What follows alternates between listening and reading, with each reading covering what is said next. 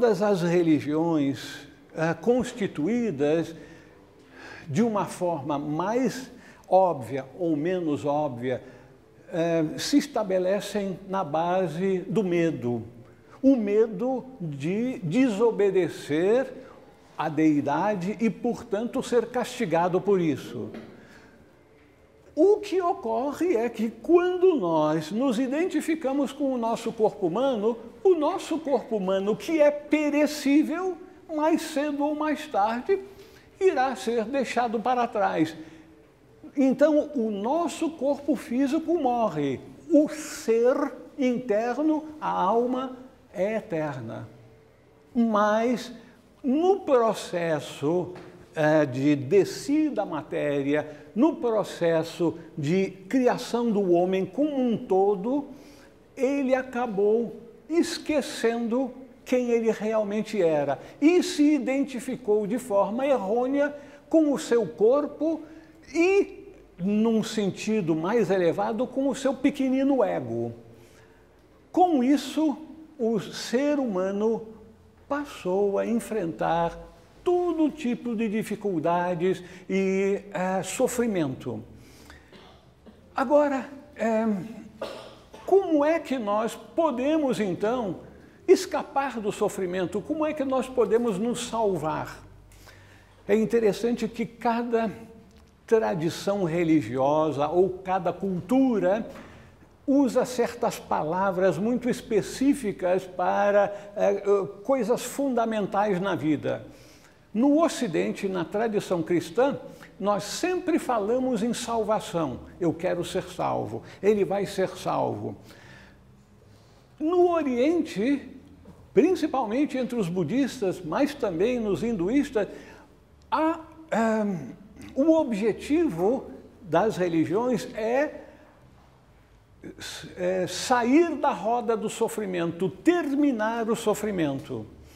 Então, o ser humano, à medida em que se identifica como sendo o seu corpo e não aquilo que ele realmente é, um ser ah, iluminado, um ser divino, um ser de luz, ele enfrenta toda uma série de problemas.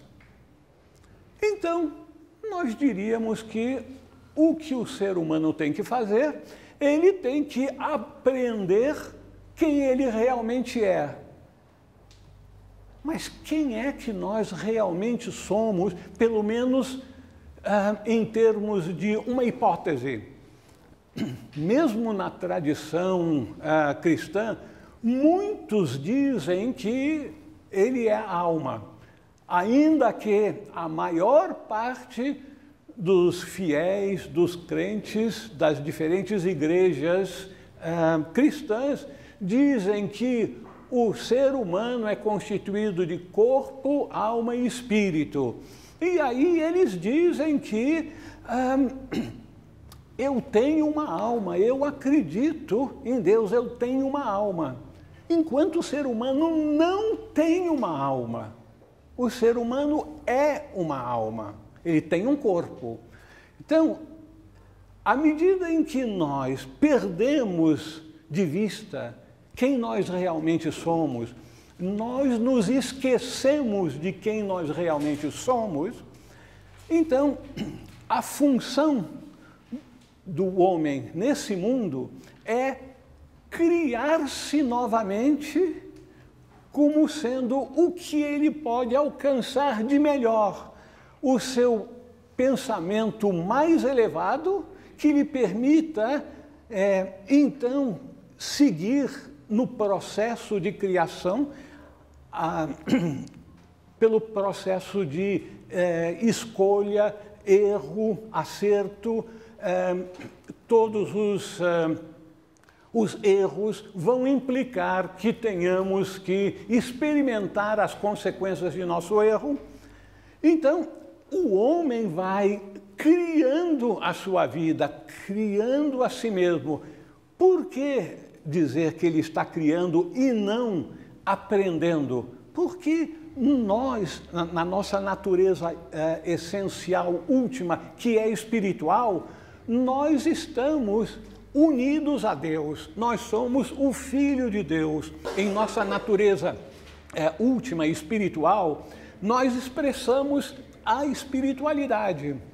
Então, nós já sabemos quem nós somos em nossa natureza última, mas nós nos esquecemos.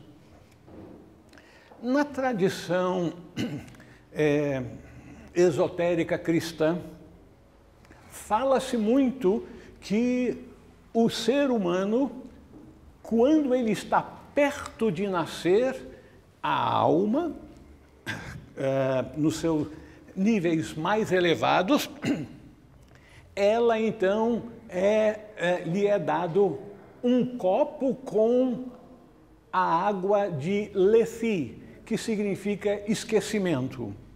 Então nós bebemos do, o líquido do esquecimento antes de cada uh, encarnação para nos esquecermos a nossa verdadeira origem, quem nós realmente somos.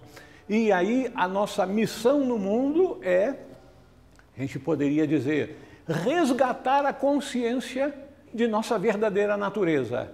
Mas não basta isso. Simplesmente saber, nós já sabíamos antes, mas esquecemos.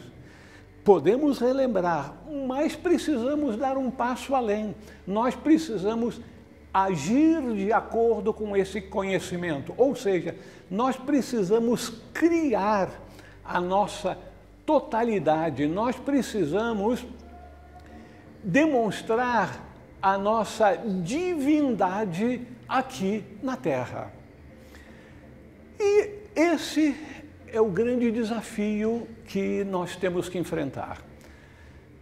Como manifestar a nossa divindade aqui na Terra, já que cada um de nós, dentro dessa premissa que eu estou uh, partindo, é, ela inclui o fato de nós sermos o Filho de Deus que toma um corpo uma, duas, dezenas, centenas, talvez milhares de vezes nesse processo de recordação e de recriação de quem nós realmente somos e queremos nos tornar. Então, é, à medida em que nós vamos é, resgatando a, a nossa consciência da nossa verdadeira natureza, nós começamos a vislumbrar aquilo que nós somos em nossa natureza última. Os místicos começam a ter esses vislumbres e aí então entendem de, quando chegam ao nível mais elevado da via mística, o mesmo com os ocultistas, o mesmo com os yogis, eles percebem que identificarem-se com o um, com o todo, com Brahma, com Deus, é maravilhoso, mas ainda está faltando um ingrediente. O ingrediente que falta é atuarmos, agirmos no mundo divinamente.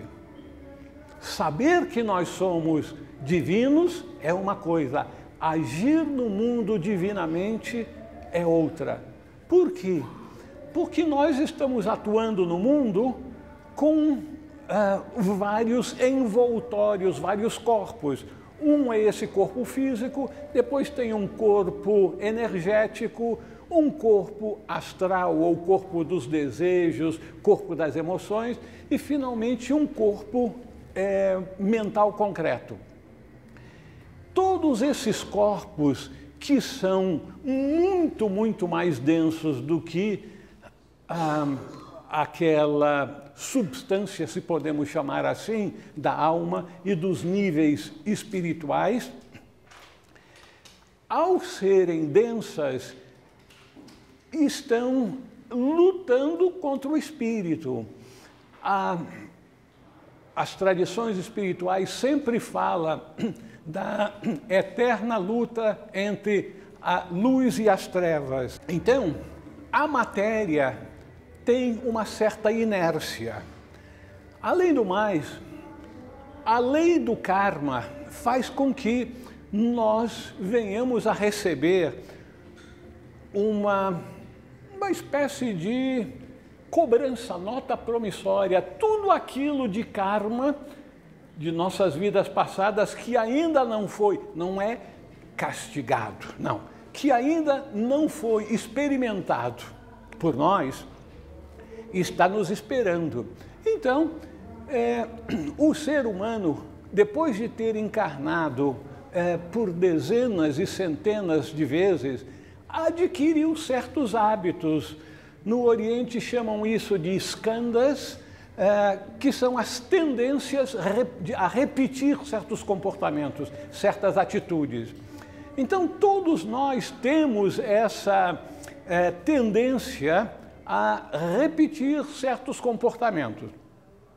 Como se isso não fosse suficiente, todos nós nascemos numa determinada família, numa determinada cultura, é, numa é, determinada estrutura social e nós absorvemos os valores daquela cultura. Às vezes a gente acha que tem livre arbítrio. Sim, em princípio, mas é um livre arbítrio que tem uma latitude de escolha relativamente pequena, porque nós já fomos programados pela nossa cultura nós fomos programados pelos valores de nossa sociedade, da nossa religião, da nossa família. Então, o ser humano, em princípio, tem livre-arbítrio. Na prática, a menos que ele consiga assumir controle total de sua vida, o ser humano terá dificuldade de mudança mudança. Essa é a palavra-chave para todos nós. No cristianismo primitivo falava-se muito de metanoia, que significava, na, literalmente, metá, em grego antigo, é além de, noia ou enoia, mente, aquilo que está além da mente. Então, tudo aquilo que nos permite uma mudança interior que faz com que nós venhamos a nos libertar, ainda que momentaneamente, da mente. Então, é, o fato de nós é, estarmos limitados pela nossa sociedade e pelo nosso passado, para que a gente possa assumir, agir de forma divina, nós teremos que lutar contra esses, essas duas grandes barreiras que nos aprisionam: o nosso passado e o nosso contexto social.